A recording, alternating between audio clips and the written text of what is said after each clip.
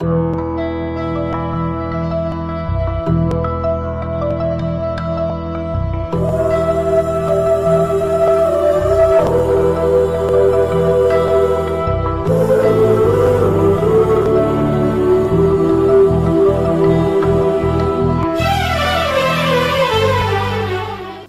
వందనం తండ్రి స్తోత్రం తండ్రి మీకే స్థుతి స్తోత్రము కలుగునుగాక. యేసు ప్రభువా వందనం యేసు ప్రభువా స్తోత్రం. యేసు ప్రభువా మీకే స్థుతి స్తోత్రము కలుగునుగాక. పరిశుద్ధాత్మదేవా వందనం పరిశుద్ధాత్మదేవా స్తోత్రం పరిశుద్ధాత్మదేవా మీకే స్థుతి స్తోత్రము కలుగునుగాక. Hallelujah hallelujah hallelujah. ఈ దినం మనం హుషయా గ్రంథం గురించి ధ్యానించుకుందాం కొంత తెలుసుకుందాం. హుషయా గ్రంథం మొదటి అధ్యాయం రెండో వచనం. మొదట యహోవా హుషయా ద్వారా ఈ మాట సెలవిచ్చెను. జనులు యహోవాను విసర్జించి బహుగా వ్యభిచరించి ఉన్నారు కనుక నీవు పోయి వ్యభిచారం చేయు స్త్రీని పెండ్లాడి వ్యభిచారము పట్ల పుట్టిన పిల్లలను తీసుకునుము అని ఆయన హుషయాకు ఆజ్ఞ ఇచ్చాను. మమ్మలను మికిలిగా ప్రేమిస్తున్న మా ప్రియ పరలోక తండ్రి ఇప్పటి వరకు మమ్మ సజ్జిల్లట్లో ఉంచి కాచి కాపాడినందుకు వందనాలు స్తోత్రాలు. ఇప్పుడు హుషియా గ్రంథం గురించి ధ్యానిస్తూ ఉండగా నాయన తండ్రి నీ యొక్క ఆత్మశక్తిని మాపై కుమ్మరించండి. నీ ద్వారానే చెప్పగలము కానీ మా సొంత జ్ఞానముతో ఏమీ చేయలేము. కనుక నాయన తండ్రి మీరుండి బోధించి అనేక ఆత్మలకు జ్ఞానోదయం కలిగేటట్టు సహాయం చేయమని మా ప్రభు కుమారుడైన యేసుక్రీస్తు నామమున అతి వినయంతో అడిగి వేడుకొనుచున్నాం తండ్రి. Amen amen amen. ఈ దినం హుషియా గ్రంథం గురించి తెలుసుకుందాం. హుషియా ద్వారా దేవుడు ఇజ్రాయేలీ ప్రజలకు జ్ఞానోదయాన్ని కలుగు చేయటానికి ఆయన హుషియా ప్రవక్త ద్వారా ఇచ్చేశాడు. ఇది ఎవరికి రాశారంటే ఇజ్రాయేలుకు ఉత్తర రాజ్యం అన్ని చోట్ల గల దేవుని ప్రజలకు. గ్రంథకర్త బెయేరీ కుమారుడు హుషియా ఇది ఏ కాలంలో వ్రాయబడిందంటే ఏడు వందల యాభై మూడు క్రీస్తు పూర్వము ఏడు వందల పద్నాలుగు వరకు. అంతర్యము రెండవ ఏరోబాము కాలమున సేవను ప్రారంభించెను పేదలను హింసించి ధనవంతులు సుఖభోగములు ఎందు జీవించుచుండేది. కనుక తండ్రి అయిన దేవుడు మరి ఈ విధముగా ఇజ్రాయేలీ ప్రజలు పేదలను హింసిస్తూ ధనవంతులైన వారు సాతాను కబంధస్థాల్లో ఇరుక్కుని పోయి వ్యభిచారమునకు బానిసలైపోయి ఉన్నారు తండ్రి అయిన దేవుడు హుషియా ప్రవక్తను పిలిచి ఏమని సెలవిచ్చాడంటే నీవు వెళ్ళి వ్యభిచారి అయిన గోమేరు అనే ఆవిడను మ్యారేజ్ చేసుకోవాలి. అప్పుడు ఈయనన్నాడు ఏమి ఎదురు చెప్పకుండా వెళ్ళి వివాహం చేసుకున్నాడు. వ్యభిచారము అనగా దీనిలో రెండు అర్థాలు వస్తున్నాయి. ఒకటి విగ్రహారాధన. రెండవది వ్యభిచారం. ఈవిడ గోమేరు వెళ్ళి హుషయా ప్రవక్త వివాహం చేసుకున్నాడు. వివాహం చేసుకుని ఆవిడ ద్వారా ముగ్గురు కుమారులను ఇద్దరు కుమారులను ఒక కుమార్తెను కని ఉన్నాడు ఆవిడికి దేవుడు ఏం పేరు చెప్పమన్నాడంటే అతని కుమారులు ఇజ్రాయేలు మొదటి కుమారుడు. రెండవది కుమార్తె. లోరుహమి అంటే ఏంటి? జాలినొందనిది అని దేవుడు సెలవిస్తూ ఉన్నాడు. ఆ పేర్లు పెట్టమని లో అమ్మి ఏంటి మొదటి? ఇజ్రాయేలు ఇజ్రాయేలు కుమార్తె పేరు లోరు హమి. కు- మూడవ కుమారుడు పేరు లో అమ్మి అనగా నా జనము కాదని సెలవిస్తూ ఉన్నాడు ప్రియ సహోదరుడి సహోదరుడ. ఏమని సెలవిస్తున్నాడంటే హుషియా భార్య గోమేరు విగ్రహారాధికులు. గోమేరు తండ్రి దిబ్లాయిము. వీరు దేవుని ప్రేమకు దూరముగా ఉండి విగ్రహారాధికులుగా మారి ఉన్నారు. చూడండి ప్రియ సహోదరి సహోదరుడు దేవుని చిత్త ప్రకారం హుషియా ఆ దేశము వెళ్ళి ఇజ్రాయెల్ దేశంలో ఆ గోమేరు అనే ఆవిడను మ్యారేజ్ చేసుకున్నాడు. ఏది? దేవుని చిత్త ప్రకారం. మరి నీవు నేను ఈ దినము దేవుని యొక్క చిత్త ప్రకారం వివాహం చేసుకుంటున్నామా లేదా? ఆయన్ని అడుగుతున్నామా లేదా? ఒకసారి ఆలోచించుకుందాం. చూడండి విగ్రహారాధికురాలైన గోమేరుని ఇద్దరు మగపిల్లలను ఒక ఆడపిల్లను కనారు చూడండి దేవుడు వారికి ఎలా పేర్లు పెట్టాడు. ప్రైజ్ ద లార్డ్ హాలెలూయ ఇజ్రాయేలు కుమారుడు. అతడు రక్తానికి పాత్రుడు అని చెప్పి దేవుడు సెలవిస్తున్నాడు కుమార్తె జాలినుందనిది. అంటే ఏంటి? విగ్రహారాధికులయ్యి జాలి నొందకుండా అంటే ఏంటి? ఇతరుల పట్ల జాలి లేదు. ఆ పేరు యొక్క అర్థం మూడవది. లో అమ్మి అనగా నా జనము కాదు. అంటే ఏంటి? ఎవరికి వారు? విడిగా జీవిస్తూ దేవుని చిత్తాన్ని అంగీకరించకుండా విగ్రహారాధనకు లోనైపోయి ఈ లోక ఆశలకు లోనై బానిసలైపోయి దేవుణ్ణి విడిచిపెట్టి దేవుని తట్టు తిరగకుండా దేవునికి కోపం వచ్చింది. చూడండి ఈ యొక్క హుషయా గ్రంథంలో అధ్యాయాలు పద్నాలుగు ఉన్నాయి. వచనాలు నూట తొంభై ఏడు ప్రశ్నలు పదహారు ఆజ్ఞలు ఇరవై ఆరు వాగ్దానములు పది హెచ్చరికలు రెండు వందల తొంభై ఎనిమిది ప్రవచనములు నూట యాభై రెండు నెరవేరనివి ప్రవచనములు పదిహేడు. ప్రైదలాడ్ నెరవేరినవి నూట ముప్పై నాలుగు ప్రైదలాడ్ చూడండి ప్రియ సహోదరి సహోదరుడ. హుషియా తండ్రి పేరు బెయేరి. చూడండి దీంట్లో పద్నాలుగు గ్రంథాలు ఉన్నాయి. పద్నాలుగు గ్రంథాలలో దేవుడు ఈ విధముగా సెలవిస్తున్నాడు. ఒకటి ఒకటో అధ్యాయములో ఆత్మీయ వ్యభిచారము. యూదులు ఇజ్రాయేలులు కలిసిరి. ప్రైదలాట్ ఆత్మీయ వ్యభిచారం అంటే ఏంటి? ప్రైదలాట్ హాలెలూయ హాలెలూయ ఆత్మీయ వ్యభిచారం అంటే ఏంటి? ఈ లోక ఆశలకు బానిసలైపోయి ఈ లోకాన్ని ధనాన్ని వ్యభిచారము ఇష్టం వచ్చినట్టు ప్రవర్తిస్తూ ఉంటే ప్రభు అయిన తండ్రి అయిన దేవుడు ఒకటో అధ్యాయములో ఈ విధముగా సెలవిస్తున్నారు. ఆత్మీయ వ్యభిచారం. ఆత్మీయ వ్యభిచారం అనగా ఈ లోక ఆశలు ధనము ఈ లోక సంపదలు బ్యాంక్ బ్యాలెన్సులు ఇవన్నీ కూడబెట్టుకోవటం ఉంటుంది కానీ దేవుని దగ్గరకు రాకుండా ఉంటే చూడండి ఈ దినాల్లో దేవుడు నిన్ను నన్ను కూడా అడుగుతూ ఉన్నాడు. ఆ దినాల్లోనే కాదు ఈ దినాల్లో కూడా నిన్ను నన్ను అడుగుతున్నాడు. ఆత్మీయ వ్యభిచారం చేస్తూ ఉన్నావు ప్రియ సహోదరి సోదరుడా రెండవ అధ్యాయము. జనులు విగ్రహారాధన చేస్తూ ఉన్నందుకు ఆయన ఏం చేశాడు? తీర్పు తీరుస్తున్నాడు వారిని. కష్టాల పాలు చేస్తూ ఉన్నాడు. చూడండి ప్రియ సహోదరి సహోదరుడ. అధ్యాయం మూడు. దేవుని ఇజ్రాయేలీయులు పతనం. వీరి యొక్క పతనం ఎందుకంటే దేవునికి దగ్గరగా లేకుండా దూరంగా జీవిస్తూ ఈ లోకానికి బానిసలైపోయినందుకు దేవుడు న్యాయ తీర్పు నాలుగో అధ్యాయం. చూడండి. ఒకటో అధ్యాయంలో ఈ విధముగా సెలవిస్తున్నాడు. ఎహోవా అతనితో ఇలాగ సెలవిచ్చను. ఇతనికి ఇజ్రాయేల్ అని పేరు పెట్టుము.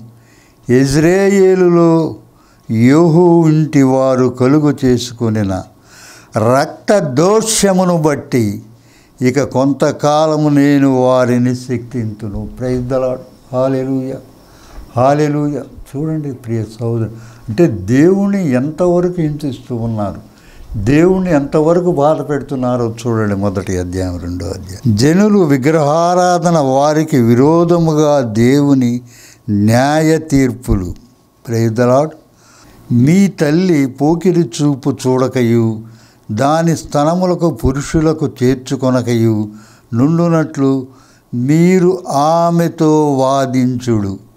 అది నాకు భార్య కాదు నేను దానికి పెనిమిటిని కాదు. దాని పిల్లలు జార సంతతి అయ్యున్నారు వారి తల్లి వేశ్యత్వము చేసి ఉన్నది. వారిని కన్నది అవమానకరమైన వ్యాపారం చేయునది కనుక వారి యందు నేను జాలి పడను. ప్రైజ్ దలాడ్ ప్రియ సహోదరి సహోదరుడు చూడండి దేవుడి యుద్ధముగా సెలవిస్తూ ఉన్నాడు. ఐదు ఇజ్రాయేల్కు వ్యతిరేకముగా న్యాయ తీర్పు ప్రైజ్ దలాడ్ యాజకులారా నా మాట ఆలకించుడి. ఇజ్రాయేలు వారలాల చెవిని పెట్టి ఆలోచించుడి. రాజసంతతి వారలారా చెవియొగ్గి ఆలకించుడు.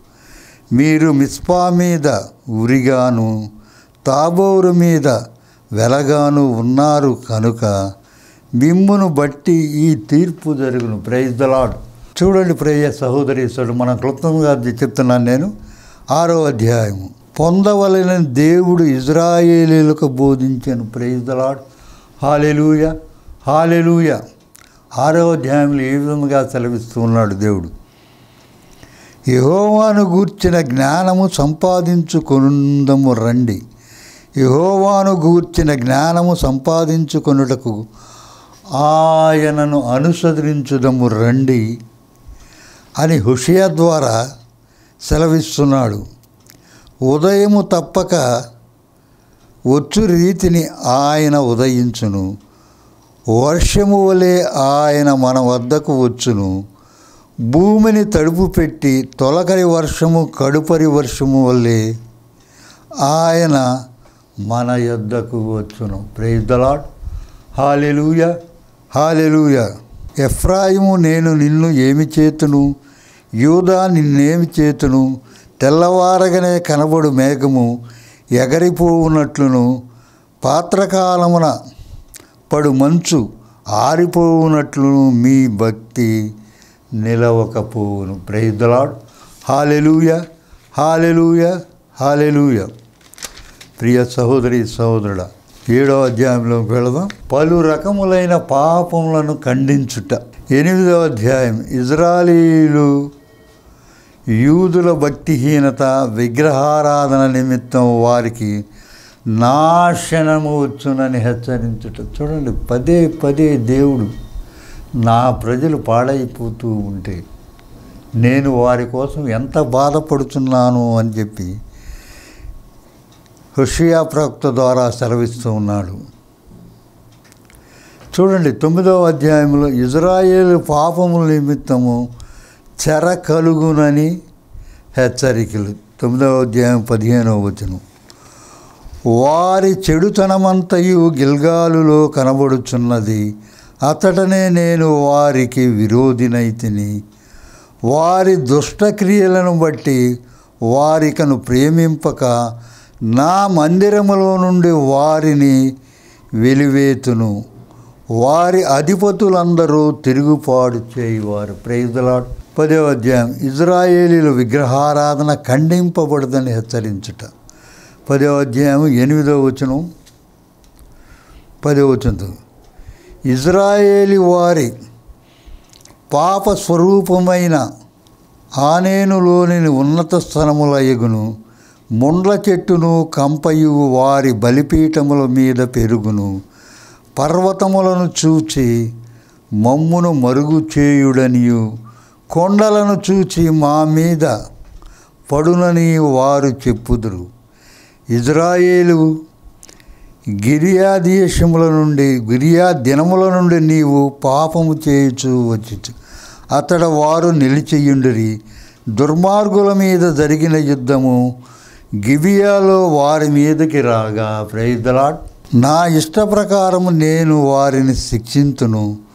వారు చేసిన రెండు దోషక్రియలను నేను వారిని బంధింపగా అన్యజనులు కూడి వారి మీదకి వత్తురు ప్రైజలాట్ చూడండి పదకొండవ అధ్యాయంలో ఈ విధంగా సెలవిస్తున్నాడు దేవుడు.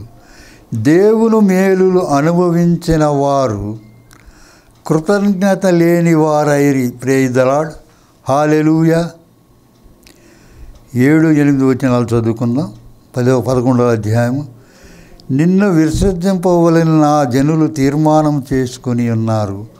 మహోన్నతుని తట్టు చూడవలనని ప్రవక్తలు పిలిచినను మానుటకు ఎవడను ఎదు ప్రయత్నం చేయడం లేదు. Praise the lord hallelujah. ప్రవక్తలను పంపించి దేవుడు మీరు ఈ పాపములు చేయబాకండి గద్దించినా కానీ వారు ఏం చేస్తున్నారు? అదే విధిగా కృతజ్ఞ దేవుని ఎందు కృతజ్ఞత లేని వారై దేవుని తట్టు తిరగకుండా ఈ లోక ఆశలకు బానిసలైపోతూ ఉన్నారు. చూడండి పన్నెండవ అధ్యాయంలో ఎఫ్రాయిము యూదా ఖండింపబడెను. ఎఫ్రాయిము గాలిని వేయుచున్నాడు తూర్పు గాలిని వెంటాడుచున్నాడు మానక దినమెల్లా అబద్ధమాడుచు బలత్కారము చేయుచున్నాడు. జనులు అసూరియులతో సంధి చేసెదరు ఐగుత్మునకు తైలము పంపించెదను. ప్రైజలాడ్ హాలెలుయా. యూదావారి మీద యహోవాకు వ్యాజ్యము పుట్టెను. యాకోబు సంతతి వారి ప్రవర్తనను బట్టి ఆయన వారిని శిక్షించును. వారి క్రియలను బట్టి వారికి ప్రతీకారము చేయను. ప్రైజ్ దలాడ్ హాలెలూయ హాలెలూయ చూడండి పదమూడవ అధ్యాయంలో దేవుడి విధముగా సెలవిస్తున్నాడు. ఎఫ్రాయిము యొక్క భక్తిహీనత నిమిత్తము కోపము రగులు కొనెను ప్రియ సహోదరి సహోదరుల ఈ దినము చూడండి మీరు ఒక్కసారి. దేవుని యొక్క ఉగ్రత ఆ దినాలలో తండ్రి అయిన దేవుని ప్రజల చుట్టూ తిరుగుతూ మన కోసం నీ కోసం నా కోసం దారి తప్పకుండా నిత్య జీవానికి వారసరవటానికి ఆయన నిన్ను నన్ను హెచ్చరిస్తూ ఉన్నాడు. చూడండి. పద్నాలుగవ అధ్యాయము ఆరు ఎనిమిది వచనాలు. అతని కొమ్ములు విశాలముగా పెరుగును. ఒలీవా చెట్టునకు కలిగినంత సౌందర్యము అతనికి కలుగును. లెవలోనుకున్నంత సువాసన అతనికి ఉండును ప్రైద్దలాడ్ హాలెలూయ హాలెలూయ హాలెలూయ అతని నీడ ఎందు నివసించువారు మరలా వత్తురు ధాన్యము వలె వారు తిరిగి ములుతురు. ద్రాక్ష చెట్టు వలె వారు వికసింతురు. ప్రైదలాడ్ హాలెలూయ. హాలెలూయ. చూడండి దేవుని దగ్గరకు వచ్చినట్లయితే దేవుడు ఏ విధముగా సెలవిస్తున్నాడు? వారు విశ్వాసఘాతకులు కాకుండా నేను వారిని గుణపరచుదును.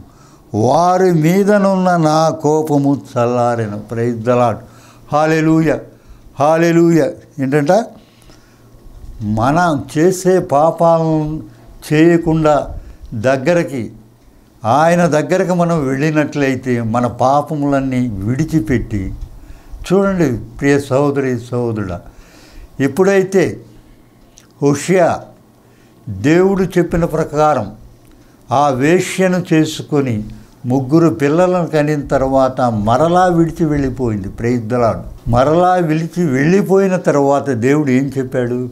నీవు వెళ్ళి ఆవిడను తీసుకొని రా అన్నప్పుడు దేవుని మాటను తిరస్కరించకుండా వెళ్ళి ఆవిడను తీసుకొని వచ్చాడు. ప్రేజలాడు చూడండి ఎప్పుడైతే దేవునికి దగ్గరవుతామో వారు విశ్వాసఘాతకులు కాకుండా నేను వారిని గుణపరచుదును. వారి మీదనున్న నా కోపము చల్లారని. ప్రయుద్ధలాడు హాలెలూయ మనస్ఫూర్తిగా వారిని స్నేహితును చెట్టునకు మంచు ఉన్నట్లు నేను అతనికి ఉందను. ప్రైద్దలాడ్ హాలెలూయ హాలెలూయ తామర పుష్పం పెరుగునట్లు అతడు అభివృద్ధి నందును. లెబనోను పర్వతము దాని వేళ్ళు తన్నునట్లు వారు తమ వేళ్ళు తన్నుదురు. అతని కొమ్ములు ఒలీవా చెట్టును కలిగినంత సౌందర్యము అతనికి కలుగును. ప్రేద్దలాడ్ ఒలీవా చెట్టుకు కలిగిన సౌందర్యము అతనికి కలుగును. లెవనోనుకున్నంత సువాసన అతనికి ఉండను. ప్రైద్దలాడ్ చూడండి. ప్రియ సహోదరి సహోదరుడు దేవుని చెట్టు మనం తిరిగినట్లయితే దేవుడు ఏమంటున్నాడు? ఒలివా చెట్టు వలి. రెండవది లెవనోను పర్వతము దాని వేళ్ళు తన్నునట్లు వారు తమ వేళ్ళు తమ్ముదురు. అతని కొమ్ములు విశాలముగా పెరుగును. ఒలివా చెట్టుకు కలిగినంత సౌందర్యము అతనికి కలుగును. లెబనోనుకున్నంత సువాసన అతనికి ఉండను అతని నీడ ఎందు నివసించువారు మరలా వద్దరు ప్రయత్నాలు హాలెలూయ హాలెలూయ నేనే ఆలకించుచున్నాను. నేనే ఎఫ్రాయిము గురించి విచారణ చేయుచున్నాను. నేను చిగురు పెట్టు సరళ వృక్షం వంటి వాడను. నా వలననే నీకు ఫలము కలుగును. జ్ఞానులు ఈ సంగతి వివేచించరు బుద్ధిమంతులు వాటిని గ్రహించరు. ఏలయనగా యహోవా మార్గము చక్కనివి. నీతిమంతులు యహోవాను అనుసరించి నడచుకుందురు కానీ తిరుగుబాటు చేయువారు దారికి అది అడ్డము కనుక వారు తొట్టిల్లుదురు. ప్రైదలాట్ హాలెలూయ హాలెలూయ చూడండి ప్రియ సహోదరి సహోదరుడా. నిజాయితీ లేని ఆత్మీయత పోలిక ఆత్మీయ వ్యభిచారము శరీర వ్యభిచారము సమానమైనవి అని దేవుని ధర్మశాస్త్రమునకు విరోధమైనది. ప్రైదలాడ్ ఆత్మీయ వ్యభిచారం అంటే ఈ లోక ఆశలు. బానిసలు చూడండి. ఆపద మనము ఎరిగిన తరువాత ధైర్యముగా దేవుని ఆజ్ఞను మీరినప్పుడు హృదయము కఠినమై దేవునితో మనకు గల బాంధవ్యము దూరమగుచున్నది. చూడండి ఆత్మీయ వ్యభిచారం చేసినప్పుడు ఏమవుతుందంటే మనం దేవునికి దూరం అయిపోతూ ఉంటాము. నిరాశ అసమృద్ధి వంటి ఆత్మీయ మరియు శారీర వ్యభిచారములు ప్రారంభమవుతున్నవి. దినాల్లో ఎక్కడ చూసినది? అని ఒకవేళ కేవలం మనసులో ఉద్భవించినవిగా ఉండవచ్చును లేనిచో నిజమై ఉండవచ్చును. ప్రైజలాడ్ హాలెలూయ చూడండి పాత నిబంధనలో పది ఆజ్ఞల్లో ఒక ఆజ్ఞలో ఏముంది? నీవు పరాయి స్త్రీని వ్యభిచార చూపు చూచినట్లయితే వెంటనే పాపము చేసినట్లు అవుతుందని సెలవిచ్చాడు దేవుడు. చూడండి ప్రియస మన ప్రేమ భక్తి ఒక దానిలో నుండి మరో దానిలోనికి పడిపోయినప్పుడు ఆత్మీయ శరీర వ్యభిచారము ప్రారంభమగును. ప్రైద్దలాడ్ హాలెలూయ. ఏంటంట మన ప్రేమ భక్తి ఒక దానిలో నుండి మరో దానిలోనికి పడిపోయినప్పుడు ఆత్మీయ శరీర వ్యభిచారం ప్రారంభమవుతుంది. ప్రైద్దలాడ్ హాలెలూయ. ప్రేమ లోపమే మనలను పాపమునకు దారి తీయుటకు మొదటి మెట్టు. Praise the lord hallelujah. ఏంటంట? ఇతరులను ప్రేమించలేకపోవటమే పాపములోనికి అడిగెళ్ళటం ఆత్మీయ శరీర వ్యభిచారము అక్రమ పద్ధతులకు దారి తీయును అని ఎల్లప్పుడూ ఉద్రేకపూర్వకముగా ఉబకవలసిన పని లేదు. ఈ తంత్రము మిక్కిలి హానికరమైనది ఎందుకనగా అది ఆలస్యముగా మీకు పాపమునందు పడిన వారిని గ్రహించవచ్చును. మీరు ప్రేమించు నూతన వ్యక్తి ద్వారా మీ కొరకు దేనికైనను చేయగలరను మనస్తత్వమును ఆత్మీయ శరీర వ్యభచారము ఏర్పడుతున్నది ప్రైద్దలాడు హాలెలుయా హాలెలూయ. హాలెలూయ. చూడండి ప్రియ సోదరుడు ఇట్టి మనస్తత్వము నూతన సంబంధము కొరకు ఏమి చేయగలమన్న వ్యర్థ దృశ్యము వల్లనైన ఉద్రేకముల నేర్పడును. అయితే ఉన్నవన్నీ నూతనమైనవి అన్ని బాంధవ్యులు మనలను అపనమ్మకములకు నడుపును. రైతులాడు హాలెలూయ. హాలెలూయ. చూడండి ప్రియ సహోదరి సహోదరుడ దేవుని యొక్క ఉగ్రత నుండి మనం బయటికి రావాలంటే ఆయన దగ్గరకు వచ్చి ఆయన యొక్క ఆశీర్వాదాలు పొందాలి. పులైన తన ప్రజల మీద ఉన్న దేవుని ప్రేమను బయలుపరచుట. ప్రైదలాట్ హాలెలుయ ఇది ఎవరికి వ్రాశారు? ఇజ్రాయేలు ప్రజలకు ఉత్తర రాజ్యం అన్ని చోట్ల గల ప్రజలకు. గ్రంథకర్త బేరియా కుమారుడు బేరియా కుమారుడు. హోషియా కాలము ఏడు వందల యాభై మూడు ఏడు వందల పద్నాలుగు అంతర్యం రెండవ ఎరోబాము కాలమున తన సేవను ప్రారంభించను. పేదలను హింసించి ధనవంతులు సుఖభోగంలో జీవించుచుండిరి. రాజధాని అయిన సమరియా క్రీస్తు పూర్వం ఏడు వందల ఇరవై రెండవ సంవత్సరం పతనమైన తరువాత కొంతకాలం ఎహోవా యొక్క ప్రవచనములు నెరవేరును. Praise the Lord hallelujah hallelujah hallelujah ప్రార్థన చేసుకుందాం. మమ్మలను మికిలిగా ప్రేమిస్తున్న మా ప్రియ పరలోకపు తండ్రి ఇప్పటి వరకు మేము సజీవ లెక్కలో ఉంచి కాచి కాపాడినందుకు వందనాలు స్తోత్రాలయ్య. నీ వాక్యాన్ని బోధించాము నా సొంత జ్ఞానంతో కాకుండా ఈ యొక్క హుషియా గ్రంథం గురించి అనేక మంది నేర్చుకొని పాప జీవితంలో నడుస్తున్న ప్రతి బిడ్డ నీ పాదముల దగ్గరకు వచ్చి ఒప్పుకున్నట్లయితే నాయనా తండ్రి నీవు క్షమించి ఒలివా మొక్క వలె చేస్తానంటున్నావు కనుక నాయన తండ్రి. చెట్టుపై మంచు పడినట్లు కాపాడుతానంటున్నావు కనుక నాయన తండ్రి. అదే విధముగా నాయన తండ్రి ఈ కరోనా వైరస్ని తీసివేసినందుకు వందనాలు స్తోత్రాలు. నాయన మరణాలు తగ్గించినందుకు వందనాలు స్తోత్రాలు నాయన తండ్రి. అదేవిధంగా నా మా గృహాలను మా బిడ్డలను మీకు సమర్పిస్తున్నాం తండ్రి. వారు కూడా మారు మనసు పొంది నీ తట్టు తిరిగేటట్టు సహాయం చేయమని వేడుకుని అదేవిధంగా నాయన తండ్రి ఈ ప్రార్థనా టీవీ యాజమాన్యాన్ని మీకు సమర్పిస్తున్నాం. ఆరు ఇంకా నువ్వు అరుదంతలు నూరుదంతలుగా నీ యొక్క కార్యక్రమాన్ని ఫలప్రదముగా జరిగించడానికి సహాయం చేయమని వేడుకుంటున్నాం తండ్రి. అదేవిధంగా నాయన తండ్రి అక్కడ పనిచేస్తున్న ప్రతి బిడ్డను దీవించండి ఆశీర్వదించండి. ఈ కార్యక్రమం అంతట్లో ఆది నుంచి అంతిమ వరకు మీరుండి జరిపించినందుకు వందనాలు తెలియచేస్తున్నాం.